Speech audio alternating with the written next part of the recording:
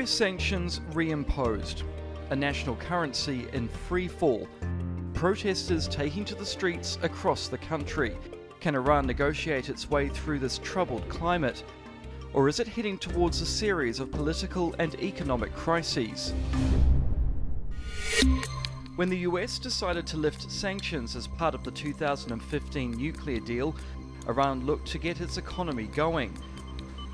But now President Donald Trump has reimposed those sanctions.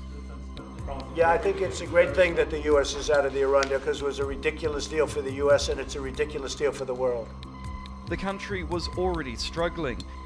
Since April, Iran's currency, the rial, has lost half of its value. Now, the first phase of renewed sanctions have taken effect and targeted a range of sectors from planes to carpets and cars. Trading of Iranian gold and purchase of US dollars by the Iranian government are also prohibited.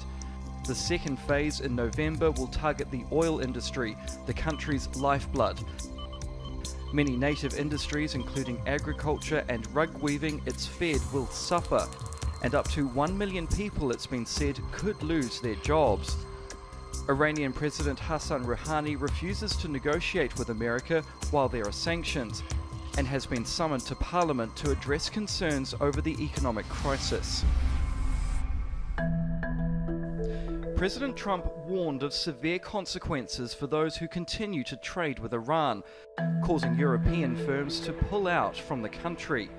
But China, the biggest buyer of Iranian oil, looks unlikely to heed the US demands. 呃，中方将在不违反自身国际义务的前提下，继续同伊朗 进行正常的、透明的务实合作。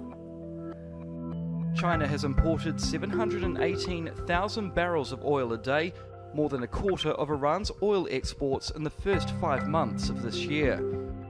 Chinese President Xi Jinping also agreed on a wide ranging 25 year plan to broaden relations with Iran. This included increasing bilateral trade tenfold to 600 billion US dollars in the next decade. But there's a chance China might limit its oil imports from Iran if the US agrees to restart the stalled trade negotiations. With no signs of America lifting sanctions in the near future, can Iran turn the obstacle into an opportunity by becoming more self reliant? Or will the hit on oil exports tip the country into a full blown crisis, which could be felt around the world?